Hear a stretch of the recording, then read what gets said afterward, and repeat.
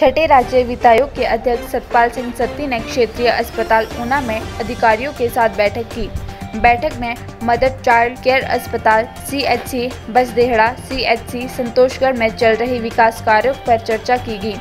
इसके अतिरिक्त new OPD block, trauma centre व पार्किंग के लिए चयनित किए गए स्थल का निरीक्षण भी किया।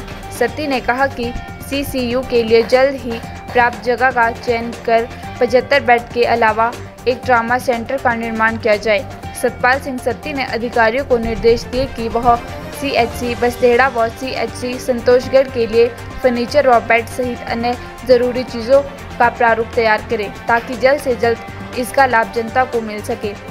सतपाल सिंह सत्ती ने कहा कि उन्ना रीजनल हॉस्पिटल में काफ़ी कुछ चेंज हुआ है पिछले पाँच वर्षों से।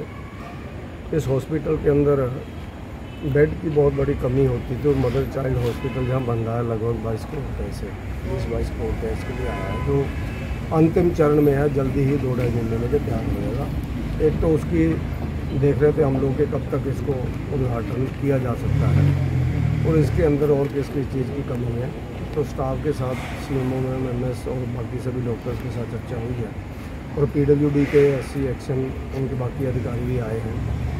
और इसके साथ साथ जहाँ पर अभी नया सी सी यू यूनिट बनना है ट्रामा सेंटर बनना है new O P D block बनना और एडमिनिस्ट्रेटिव ब्लॉक बनना जो हमने जो चार प्रपोजल चलाई हुई है। उसके लिए अलग अलग थोड़ी जगह की दिक्कत आ रही है तो जगह कैसे एडजस्ट हो सकती है?